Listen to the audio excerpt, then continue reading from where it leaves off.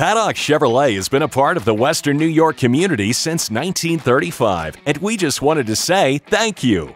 Thank you, Western New York. Thank you. Thank you, Western New York.